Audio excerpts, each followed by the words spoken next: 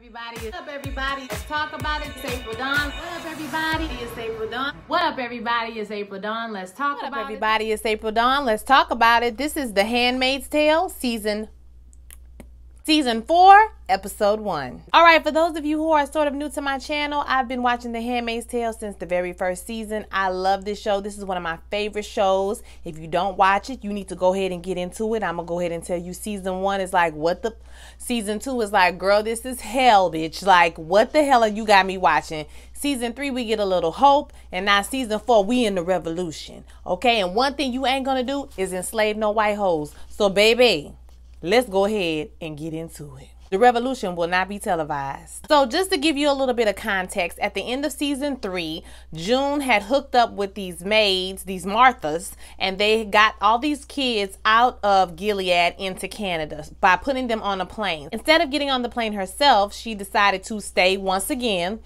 like she did at the end of the second season. We was all pissed off, okay? she decided to stay again and she got shot subsequently when the police started chasing after them or the soldiers or whatever started chasing after them. And some marthas rescued her. So this is where this is where we are and we pick up exactly where we started off. So the revolution has begun. Shit is going down. Baby it's it's everything. Gilead about to be toe up in a minute honey. Handmaids are nursing june back to health. They're kind of like trying to stop the blood from the wound. And we see that janine is still there with her and they have to use this makeshift i think it's a curling iron they use to solderize the wound so that they are able to travel. We see that they're in the back of a truck. They're like in the bottom part of in the back of the truck, and then they, they're kind of tucked in, and we see some soldiers come in, you know, to do an inspection at a checkpoint to walk around. And I thought for a second they was going to get caught because the homegirl was was making noise. You'd be like, Shut your ass up. Shut up, girl. We're gonna get caught, bitch. We're gonna get, go back to get. Ain't nobody got time to be having no more damn babies. They make it through the checkpoint and they make it to well, at a certain point, the truck drops them off and they have to walk the rest of their way. Now, up in Canada, if you remember last season, the commander Waterford and Serena, they kind of turned on each other in the end. And so she turned on him first, and then he turned on her, and they both arrested now. So they're in this fabulous prison. I mean, it's fabulous as hell, y'all. So they're in this fabulous ass prison where apparently they can walk around freely. And the commander comes to see Serena. She's smoking a cigarette. And um, he like, oh, you smoking cigarettes now? She like, mind your business. The American guy comes in. I can't remember his name. We'll get his name eventually. But he comes in and tells them that their hearing has been rescheduled. And she was like, oh, Oh, now you're trying to thwart my rights? oh, now you worried about rights? Now you worried about rights, Serena? You worried about rights. Okay, says. He tells them he's going to let them know, you know, when they reschedule the hearing. And then he tells them about the plane that arrived with 86 children on it and some handmaids and Martha's. And Serena's like, What the fuck? Huh? What you mean? He's like, they're safe, everybody's good, you know what I'm saying? She's like, oh my God, they're poor families. Now, she's speaking of the families in Gilead, in which these children were taken from, but we all know that that's not them damn people kids in the first place, okay? He was like, um, they're being reunited with their families as we speak. Commander Waterford is like, this is going to start a war. You need to return these kids back to their homes. And he says, well, y'all would want nothing more than to return them back to their homes, but you destroyed them, okay? You destroyed their homes. He says, and I think um you might know somebody who was involved. It was a handmaid. Her name is June. Wasn't she your handmaid? And Serena's like, You dirty, low down, no good.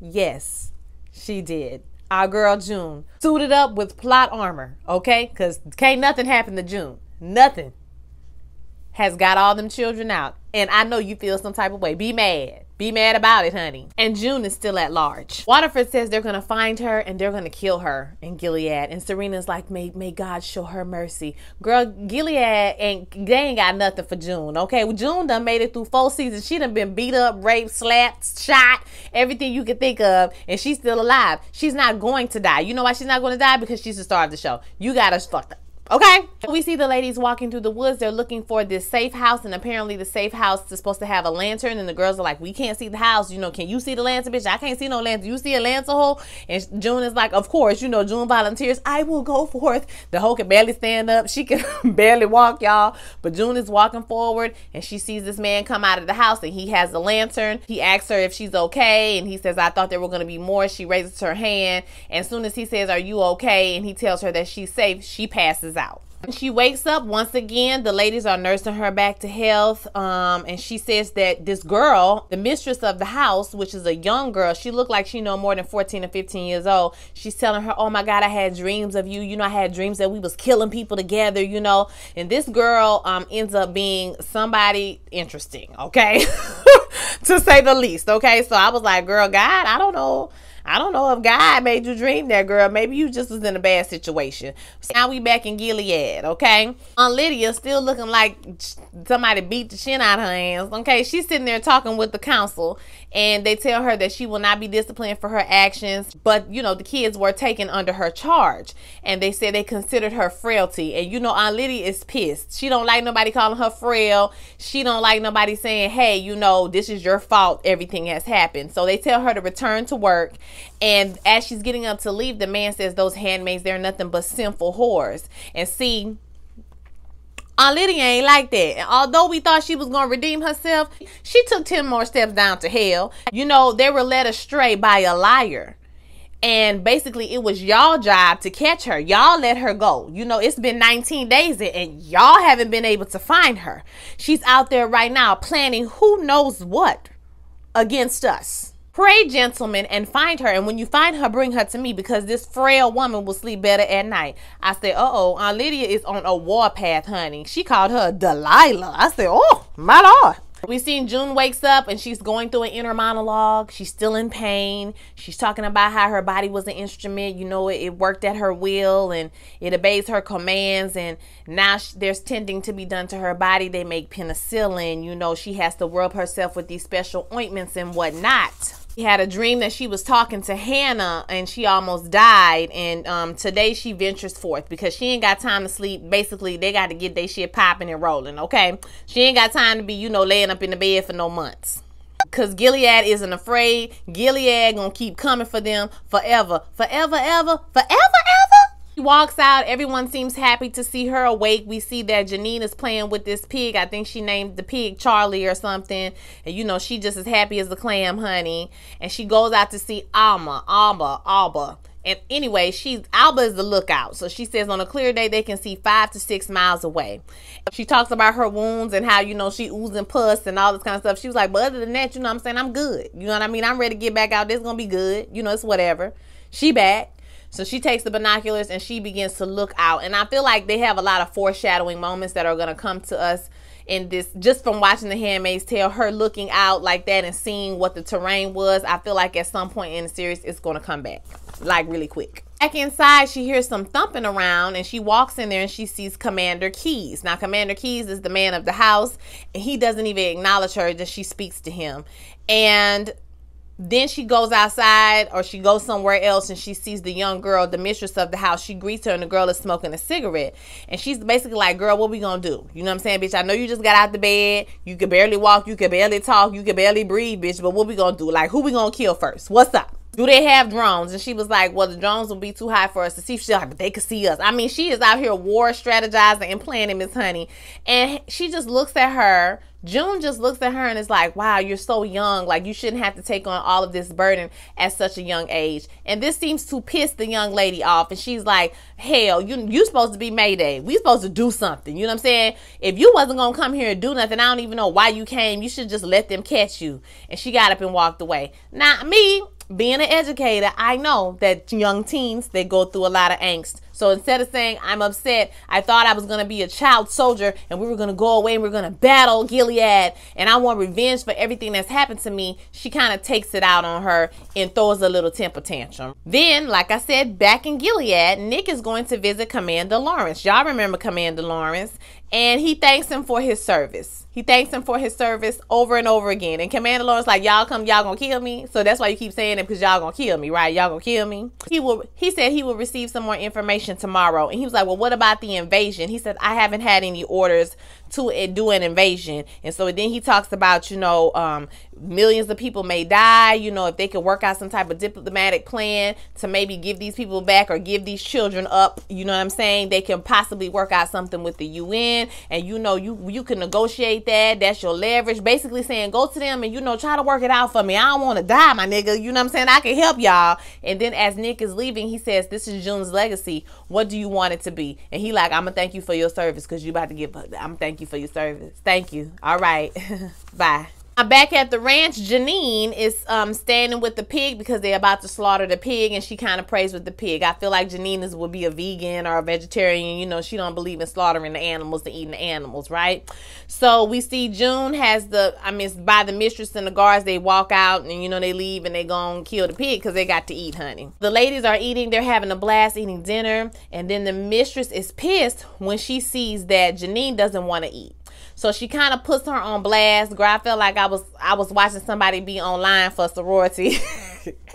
the way she was talking to this girl and she makes her eat a piece of the pig and Janine is just so upset. She cries and she like tries to hold her mouth. June when she runs out of the room and June stops her and is like hey you know they have brutalized all these girls. They brutalized everybody. Like have some respect. Don't do that. I was glad that June ran behind her and kind of got her together. Like girl what the hell is wrong with you? Like I'm gonna need for you to relax. She tells her to show some compassion too which I thought was nice that she could finally say that. That can be verbalized out loud because how many times have you watched this show and you want to scream at the TV, bitch, have some compassion. Y'all out here all wording people and beating people and killing people. Like you just want to say, have some compassion and some respect. So I'm so glad that the words were actually spoken on the show. The girl begins to tell the story of what happened to her. Basically, Commander Keyes couldn't get it up. Okay, he couldn't get it moving when they first got married. So instead of him having to impregnate her, he was inviting guardians, eyes, um, officers, everybody to come through and be with this girl, right? And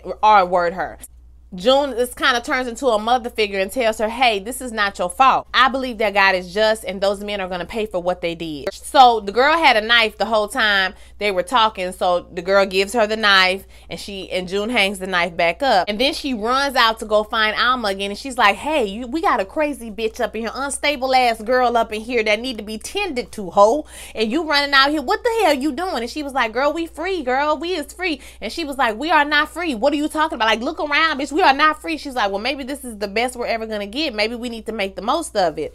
And so then she walks into this hall and she sees everybody dancing and having fun. We see two men dancing together, two women dancing together. It was just like, you know, like kind of like before all this happened. Not kind of, like 25%. Okay. But they're having a good time. Although June wants to be happy for that moment, you can tell that she understands that this moment is fleeting. These people are going to find them eventually and they're going to hang all their ass from their wall. Okay, so something got to be done. They can't get too comfortable. Then we see the guards coming down the next morning to get Commander Lawrence and they bring him to this room, which kind of looks like a torture chamber. But then Nick comes into the room and he tells them that he has convinced the council to take him on as a consultant. So he just came down there to get a shave and to clean himself up. So he's going to help them strategize, you know, this war, this invasion, this diplomatic exchange that's supposedly going to happen. So I was like, boy, that privilege, honey, that that male privilege, not even just white privilege, that male privilege is prevalent all up and through Gilead in the way they treated Commander Lawrence, which literally took her to freedom and dropped her off and the baby. Okay. And then the way Aunt Lydia gets treated when she was responsible or she was there when all these girls were taken. It's amazing, okay? It's amazing, so amazing. Mm-hmm. June sees Commander Keyes again. She picks up the knife this time, and this time he starts talking to her. So he apologizes that he can't remember her name, and she introduces herself as the Martha. And he said, There's another young lady that's living around here. You know, I can't remember her name either. He's talking about his wife, and she, he doesn't even know her name. So you can tell that he has dementia, Alzheimer's, something of that nature, right? And her name is Esther. And he's like, Oh my gosh, she's such a pretty girl. And you can see that this is just tearing June up because they done R worded the shit out this girl. And you know, June is pissed. You know, she don't like no violence against no children, honey. He tells her that he's scared of her sometimes, and she was like, You should be. And an officer interrupts, um, you know, she puts the knife down. An officer interrupts and says that Commander Keyes is needed outside. So a truck comes up with the man, and this is the man who was trespassing, you know, wandering around in the woods, some type of guardian officer, whatever the case may be, and he was drunk. He was trying to come up there to mess with that girl. Basically, that's what it was. And June walks up in there and she's like, you know, is this one of the men? And Esther is like, yeah, that's one of the men. You know what I'm saying? That they used to mess with me or whatever. It looks like they're about to shoot him right there, or the men say we'll take him to the river and, and deal with him or whatever and he gets away he runs away and the girls start chasing him and they start beating him down or whatever and then june is like stop bring him to the barn. So everybody's like you know he saw us girl. He saw everybody here. So you know what we're gonna have to do. You know we're gonna have to kill this nigga. I mean i'm just saying. He's like hung up on the thing and so she goes to him and this like look comes over her face and i promise you it was like aunt lydia karaoke okay? Like she was like her family sent her here to be R worded over and over again, and you are a traitor against the United States of America, and you R worded a child repeatedly, and the punishment for that is death. Then she gives Esther the knife and she tells her, We are Mayday, you was right. Okay, we need to fight. This is a way to galvanize the ladies and let them know, hey, don't get too comfortable. There's a lot of stuff going on. You guys need to pay attention and um, not get too settled in this life, right? Because people are coming every day. So she tells, she gives her the knife and she tells her, make me proud. I was like, girl, if you ain't Aunt Lydia right now, June, like, this was you remember that season June was going off unhinged and we was like, "Girl, what are you doing, June?" But it's like that again. You don't know if she's a villain or the hero child. I don't know. He turns around and walked away and Esther stabs the dog out this man and I was happy. I ain't going to lie cuz he deserved it. June goes back to her room, baby. She breaking down. Like I said, the bitch could barely talk, walk. She breathed. So she getting in the bed and she lays down and Natural Woman is playing in the background. And I just love the music for this show. It's everything. Esther then comes back into the room with blood all over her face, over her clothes. And she lays behind her and tells her that I love you. And she says, I love you too, Banana. And she smiles. If y'all know that she called her daughter Hannah Banana. So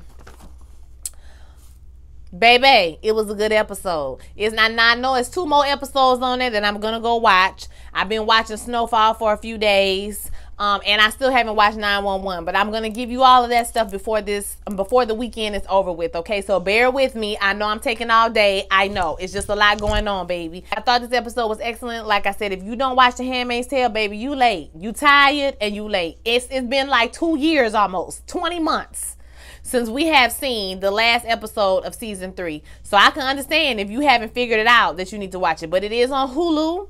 It comes out every new episodes. They come out on Wednesdays. And I think they release like one, two, three episodes at the same time. Okay. So um it was great show.